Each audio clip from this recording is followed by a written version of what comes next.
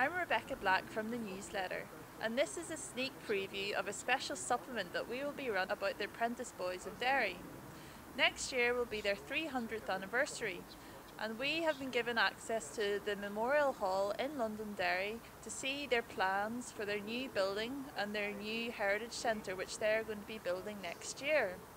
William Moore, who is the General Secretary of the Apprentice Boys, has given us a tour of the Memorial Hall and shown us all around, including the newly discovered cannons, which were hidden inside the walls.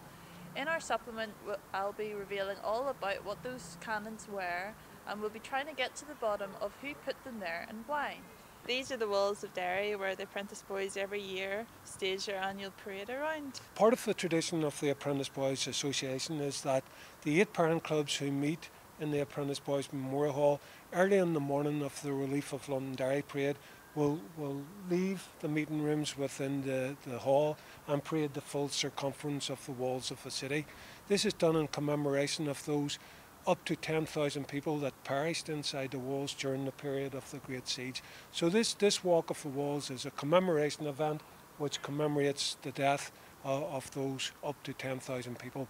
Many of those that died inside the walls uh, would have died through famine and disease and fever rather than from the actual conflict. But the Apprentice Boys commemorate that event annually on the second Saturday in August, which is the relief of Londonderry Parade. And there's also the closing of the gates as well. Well, we don't walk the circumference of the walls now at the closing of the gates uh, commemoration event, but we still we still continue with tradition by, uh, as we do in August, by attending a Thanksgiving service in St Columb's Cathedral.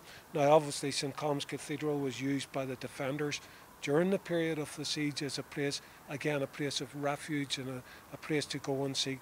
Uh, assistance and help from God for the, the deliverance of the city. So we still retain that, and in August, the Thanksgiving service is dedicated towards the relief of the city.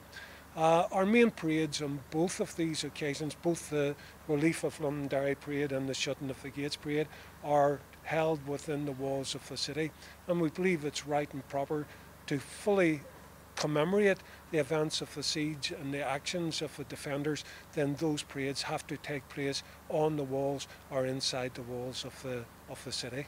And this year you've received three million pounds funding between the Heritage Lottery Fund and also Peace Three funding. So is this a new era for the Apprentice Boys? Well, yes, we've received uh, three million pounds of funding.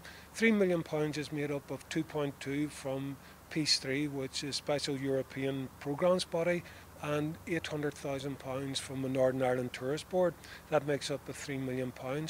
Uh, we have also uh, received funding from the Heritage Lottery Fund of just over £600,000 for, for events that we will be uh, engaging and embarking upon uh, hopefully very very soon now in the in 2013 so it's a very exciting period it's it's certainly a very inspiring period and a very motivating period for all apprentice boys because we do hope and trust that by 2014, which is the 300th anniversary of the formation of the Apprentice Boys, by 2014 we will have a brand new heritage centre, something that we can be proud of, something that will relate and convey uh, the story of the Siege of Londonderry, the development of our association, and something that we hope will create a much better understanding of the culture, the traditions and the history that the Apprentice Boys Association commemorates.